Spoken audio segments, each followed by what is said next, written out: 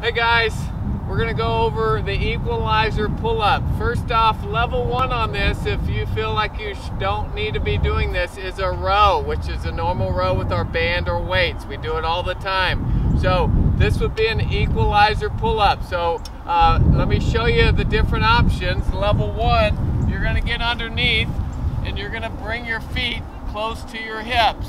So as far close as I can. I'm gonna put my bar right above my chest.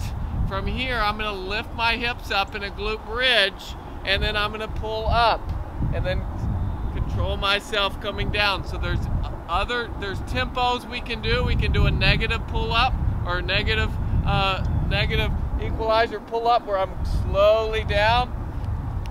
The four, two, and one where we go up, hold it one, two, one, two, three, four, and then the last one would be all as fast as you can. So levels, this is level one where my feet are as close to my, my, my hips as possible. It gets harder the further out your legs go out. So level 10, whatever level that is, is straightening your legs, bring your hips off the ground, and then lift up and down.